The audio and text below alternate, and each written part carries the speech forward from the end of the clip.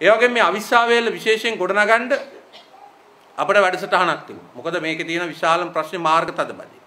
ඒ නිසා මේ රේල් පාර දිත්ත ඒ කියන්නේ ලයින් දෙකක් තියෙන කෝච්චි දෙකක් යන්න පුළුවන් මාර්ගයක් බවට පත් කරා. මේක පොඩි කෝච්චි පාර හැටියට තියෙන්නේ.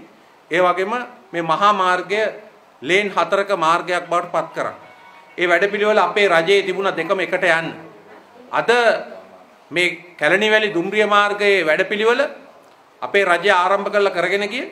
ඒ වගේම හයි ලෙවල් පාර අවිස්සාවේල්ල දක්වාත් එතනින් පැල්මඩුල දක්වාත් ගෙන යන්නේ වැඩපිළිවෙල ආණ්ඩුව නතර කරලා තියෙනවා. නතර කරලා තියෙන්නේ මොකද? මේ මේවට වඩා හොඳ වැඩපිළිවෙලක් ගේන්නද? නෑ. මේගොල්ලන්ගේ කල්පනාව විදේශ සමාගම් වලට කිසිම ප්‍රසම්පාදනයක් කිසිම ටෙන්ඩර් කැඳවීමකින් තොරව දීලා වෙනත් ව්‍යාපෘති මේක හරහා ක්‍රියාත්මක කරන්න.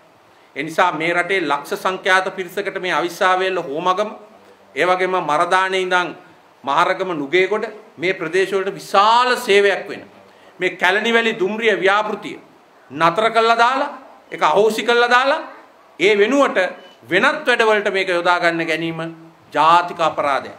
ඒ වගේම මේ මාර්ගයේ හෝමගම සිට අවිස්සාවේලට මෙතනින් පැල්මඩුල්ල දක්වා ෆෝලේන් කළහම අපේ ප්‍රදේශයේ හැම ඉඩමකටම අලුත් වටිනාකමක් ලැබෙනවා නේද? අලුතෙන් මිනිස්සු පදිංචි වෙනවා. අලුතෙන් ඉන්න මිනිස්සුන්ට ශක්තියක් ලැබෙනවා. පාසල් අලුතෙන් එනවා, රෝහල් අලුතෙන් එනවා. දැන් බලන්න අද හෝමගම අපි තාක්ෂණ නගරයේ ගෙනාව විතරයි. මොන්නක් තරම් ආලෝකයක් එකපාරට එතෙන්ට ආවද? බැංකු කීයක් ආවද? සුපර් මාකට් කීයක් ආවද? අලුත් නිවාස සංකීර්ණ කීයක් ආවද? ඒ වගේ තමයි මේ නගරයත් අපි ඒ විදිහට හදපු හැටියේ විශාල ආලෝකයක් මේ නගරයට ලැබෙනවා. ඒක මේ ආණ්ඩුව නවත්තලා දෙනවා. මොකද මේ අවිස්සාවේල නියෝජනය කරන වලව්කාරයෝ කැමති නැහැ. මේ ඉන්න මිනිස්සු මේ ගානට මින්න තමයි ඒගොල්ලන්ට ඕනේ. ඒ தત્ත්වය වෙනස් කරගන්න අපේ ආණ්ඩුවේ ගත්ත පියවර ඉදිරියට ගෙනියන්න සමගි ජන බලවේගයේ ජයග්‍රහණය කරවන්න කියලා අපි ඔබෙන් ඉල්ලා හිටිනවා.